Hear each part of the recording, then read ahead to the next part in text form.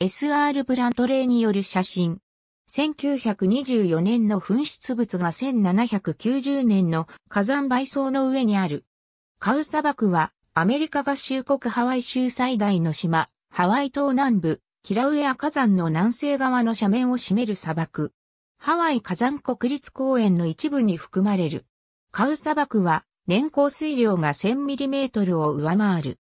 しかしながら、この地に降る雨に、キラウエア火山の噴気口から出た二酸化硫黄が溶け込んでいるために砂漠となっている。火山噴火時の pH は3.4で植物の生育には適さない。加えて地中の水分はすぐに蒸発し、堆積しているテフラも透水性のものであり、植物の生育に不向きである。カウ砂漠はウォーキングやハイキングが盛んでなかった頃からそれらのスポーツが交流していた。なぜなら粉から半時計回りに11号線を進んでいくと、たどり着けるからである。砂漠を横断するときには、キラウエア火山に至る前に大きな溝を見ることができる。また、ヒロからは11号線を西に 48km の地点にある。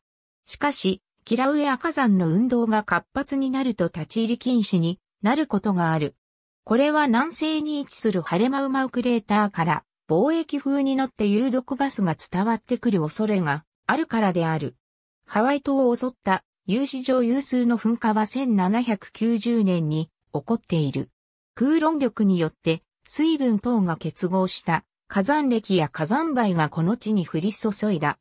これによってカメハメハ一世と戦火を交えた後のケオワクアフーラの軍勢の兵士80人が火山灰による窒息をした。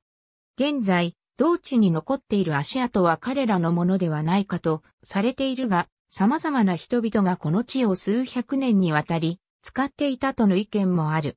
ありがとうございます。